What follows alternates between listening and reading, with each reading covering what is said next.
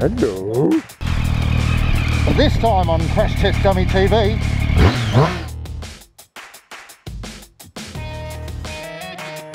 G'day all. Alright, as you know, rocker covers off and cams I just pulled out. Um, once again, when you're pulling things apart, just write down everything. I mean, I've gone to the point of, uh, you know, wrapping up some bolts and uh, marking them. Um, all the uh, the cam cam holders were uh, they're all numbered and they're arrowed forward, but I uh, drew the diagram on the uh, on the cardboard just in case. Uh, what else have I done? Oh, pulled the plugs out. Had a good look down with the torch, and I can see compared to a couple of other ca- uh, couple of other valves, there's a couple, or the inside ones on the uh, inlets are uh, sitting in further. So I reckon we've got a build up of um, of carbon. Basically, the uh, the valve over time, as it's going out and in, out and in, out and in, out and in, out and in, Giggity, giggity. um, the bit that isn't touching metal, like the obviously there's a bit there, but you've got a bit that comes out. You've got now got this gap.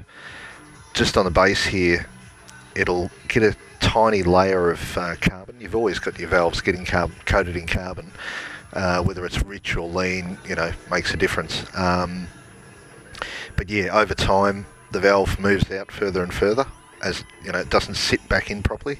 So uh, hopefully, cross the fingers, there's no burnt valves. Um, but yeah, pull that one out and cross the fingers that uh, the two out and uh, cross the fingers. I can just clean them up and reseed them.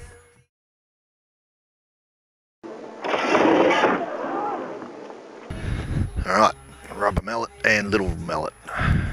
It's pretty much time to take the head off.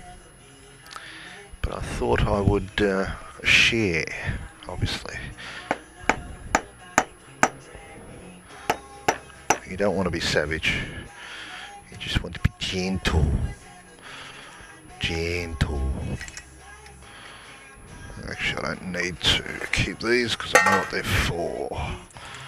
With my cam sprockets, I get gardening twist tie. Thread it through twice, give it a good twist.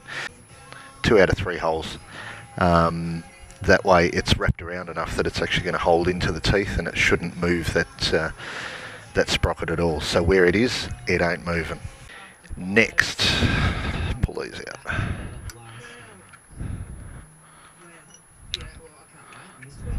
You know what? I think the radio can go off because I don't want them talking on my video.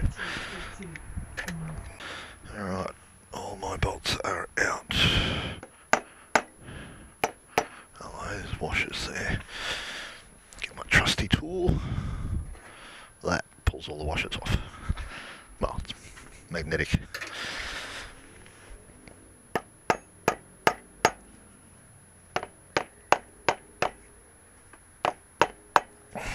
You don't want to force it.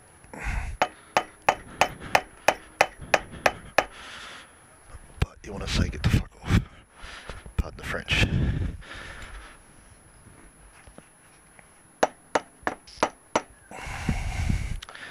This is coming off alright.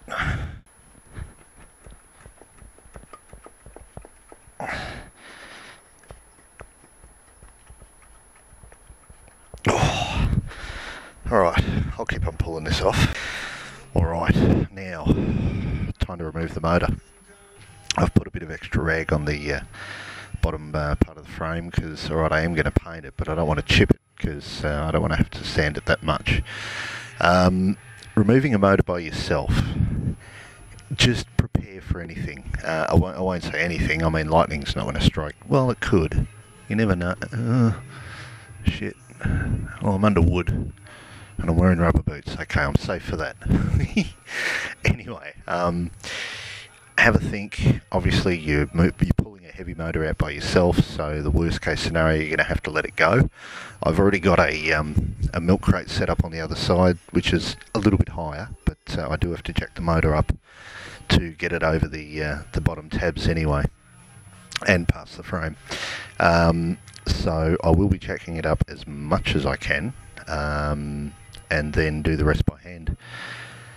I was going to lasso the motor, do some sort of rope system so I could, you know, lock it off if I uh, had to let it go. Um, but I've got nothing to tie it to really. It's the wrong spot for the bloody uh, garage. I needed to do it to the right half a bike length. Anyway, worst case on that. Damn it. Um, yeah, I'll uh, going to put the helmet down on the uh, little table and film it. So uh, apologies in advance for my bottom being in camera. It is a nice bum. I did have someone say that it was the best bum in uh, Glen Waverley once. Anyway, she was sleeping with me, but whatever. Um, so yeah, next will be pulling a motor out by yourself. That or uh, how to pull a how to fail at pull a, pulling a motor out by yourself. One of the two. So drum roll. Ding.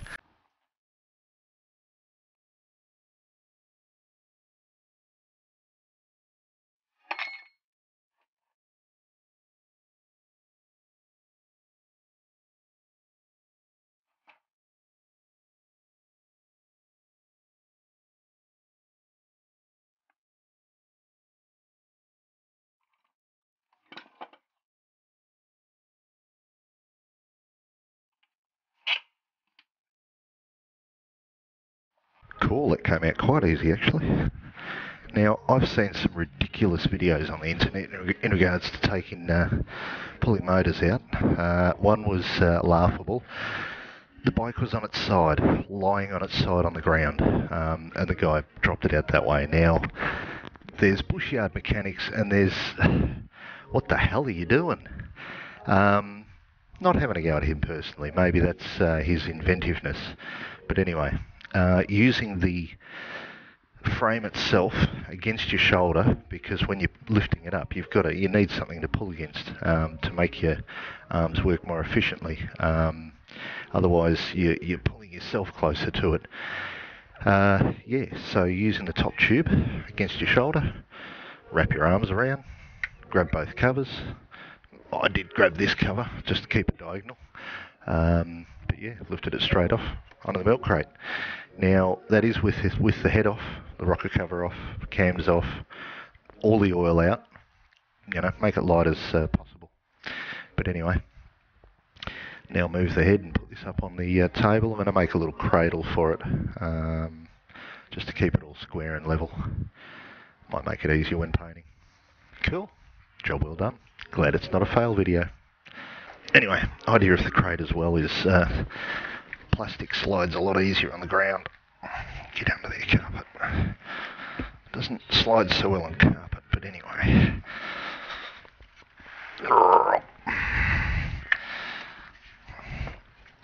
Gives a handle, I suppose. Now, the only thing I regret to begin with was uh, facing the bike this way. Because, yeah, motor had to come out this way and now I've got to get it past up and onto the bench. But anyway, I'll get it there. You don't need to hear my grunts and groans, so I'll uh, end the vid here and um, pick up when it's on the bench. Alright.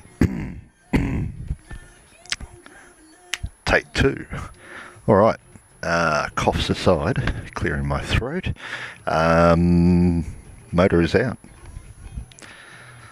time to have a look. I think I showed the head on the uh, previous video.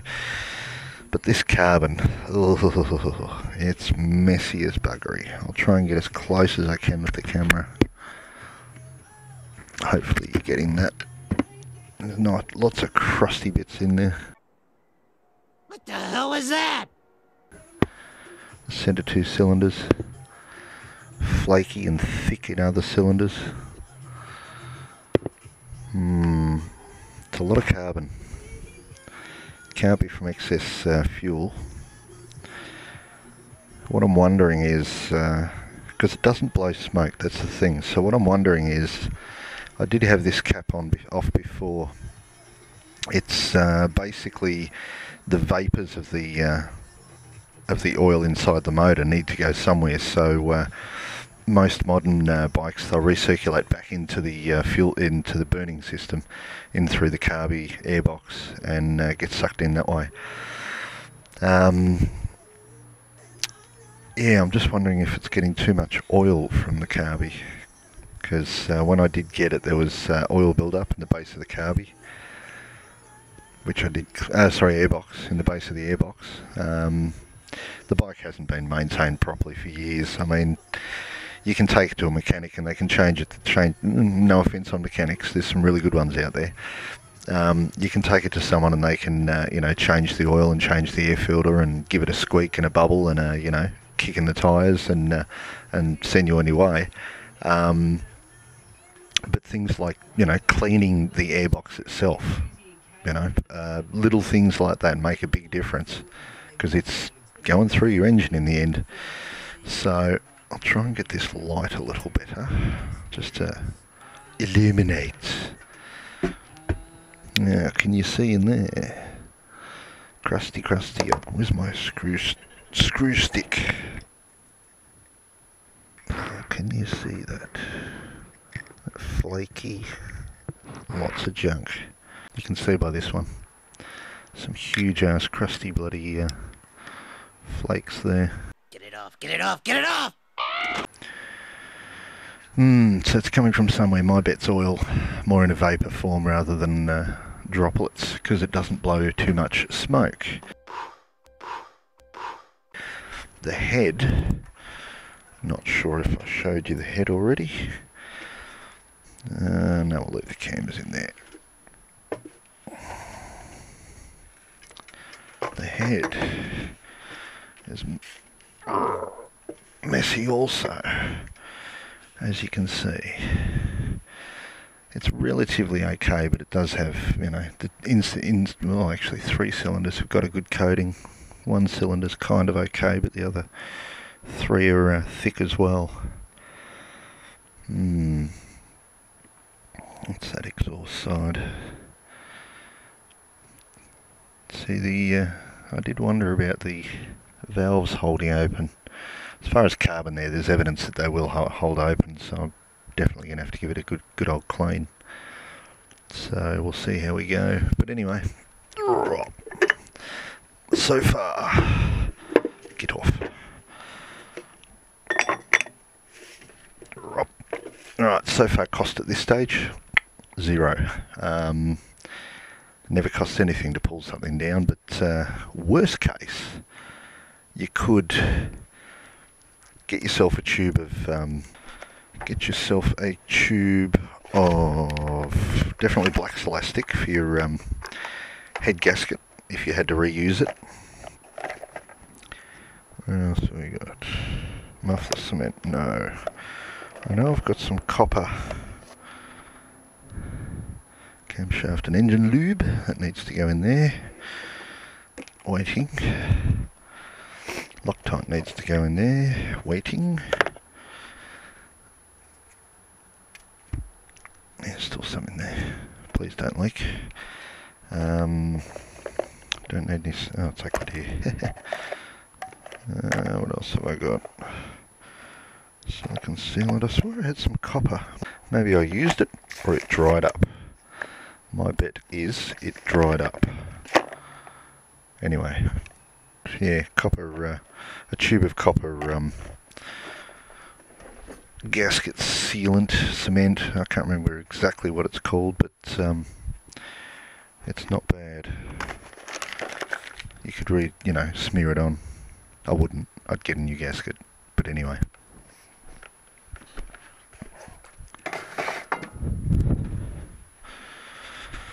Cool. I'm going to love you and leave you here and. Uh, get to the next phase, which will probably be next video. Cleanup. Yeah, cleanup. Cool. Thanks for watching. Don't be afraid to do it yourself. And when you're out there riding, wear the bloody gear. Cool. Ride safe. See you soon. Bye. You people are pigs!